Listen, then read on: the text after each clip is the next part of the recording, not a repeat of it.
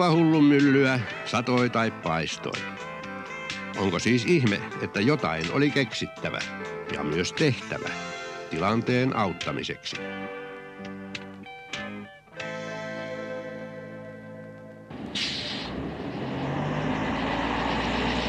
Itäsuunnan liikkujille on tullut uusi liikenneväline, metro.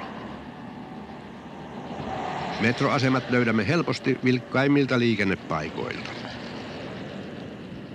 Nyt kiireesti vilkaisemaan, miten se toimii ja miten tätä uutuutta käytetään. Ja miten meitä metroasemalla palvellaan.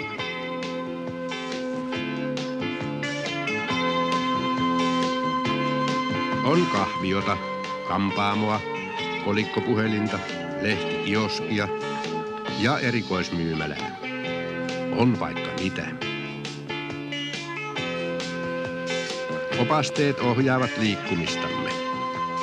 Kulku on helppoa, eksymisen mahdollisuutta ei ole. Kaikki samat matkaliput kuin busseissa ja raitiovaunuissa kelpaavat metrossakin. Siis myös kuukausikortit, koululais, invalidi ynnä muut alennus- ja vapaaliput. Lippuja saa lippuautomaateista, liikennelaitoksen myyntipisteistä ja vaikkapa ärkioskeista.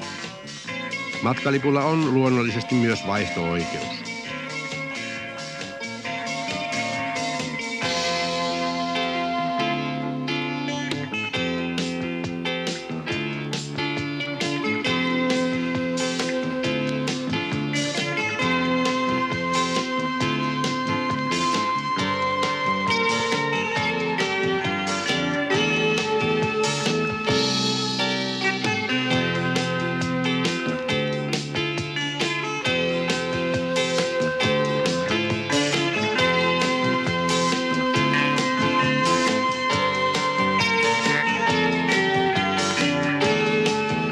Hajamielisille on syytä huomauttaa, että tämän keltaisen viivoituksen sisäpuolella on matkalipun oltava mukana.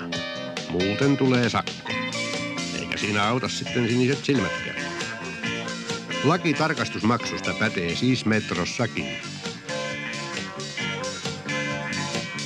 Näissä portaissa ja hisseissä riittää tilaa ruuhka-aikanakin.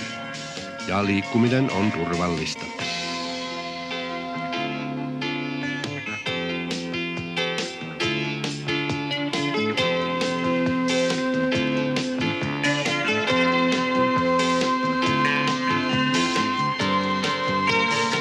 Laiturihalli on koko 135-metrisen junan pituinen, joten matkustajat pääsevät junaan sen koko pituudelta.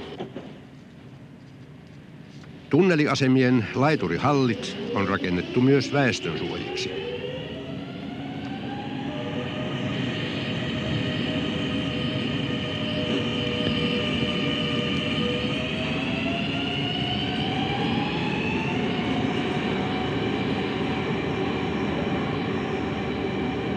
Huom. Tälle vaalealle kapealle turvakaistalle ei saa astua ennen kuin juna on pysähtynyt.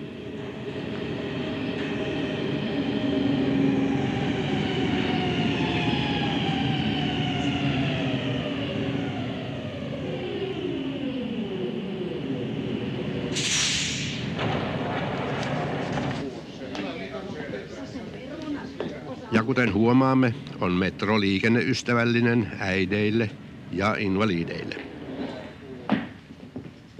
Äänimerkki ilmoittaa ovien sulkeutumisesta. Vahinkoa ei pääse tapahtumaan, vaikka jalkasi tai kätesi jäisi ovien väliin. Pehmeäreunaiset ovet avautuvat automaattisesti uudelleen. Juna lähtee vasta, kun kaikki ovet ovat kiinni.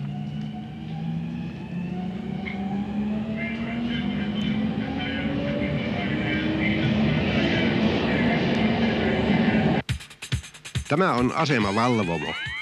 Sieltä tarkkaillaan liikenteen kulkua sekä laiturilla että radalla. Metrolla mennään näin mukavasti. Junan kulku on tasaista. Nyt ei ollakaan onnikassa eikä purjelaivassa. Tilaa on runsaasti ja istumapaikkoja riittävästi. Lukeminen ja seurustelu sujuu. Entä jos jotain sattuu? Hätäpuhelimen avulla ollaan yhteydessä junan kuljettajaan.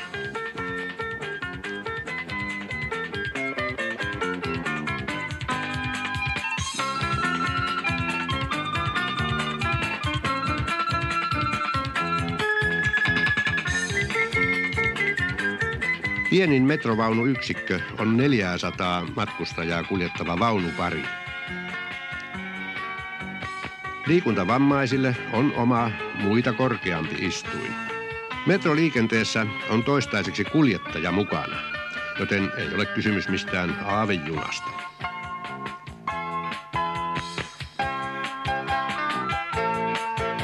Lämmön säästämiseksi on talvella joka oven avaaminen asemilla tarpeetonta, joten ne avataan vain nappia painamalla. Junien vuoroväli ruuhka-aikana on viisi minuuttia ja muulloin kymmenen minuuttia. Matka Puotinharjusta eli Itäkeskuksesta Rautatien torille kestää varttitunnin verran. Ja sitten taas ankara varoitus lapsille ja vanhemmille – Aidattu rata-alue ei ole leikkipaikka, sillä virtakiskon sähköjännite on hengenvaarallinen. Muistakaa tämä. Kampin ja Itäkeskuksen väli on 11 kilometriä. Tälle osuudelle rakennetaan yhdeksän asemaa, joista kallioon louhittuja maanalaisia asemia on viisi.